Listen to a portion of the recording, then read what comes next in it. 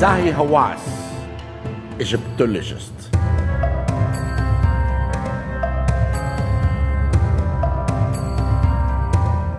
I really believe that this tomb was cut for Ay. Because if we look at the 12 hours of the night from the uh, book of the Amduat, it's exactly the same copy of what uh, is drawn in the tomb of Ay in the Valley of the Monkeys. And the existence of Ay performing the opening of the mouth to King Tut is another evidence.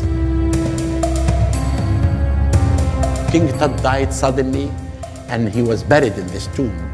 And maybe it could be this tomb was large and they could build this wall to shrink in the tomb because it happened in the Valley of the Queens.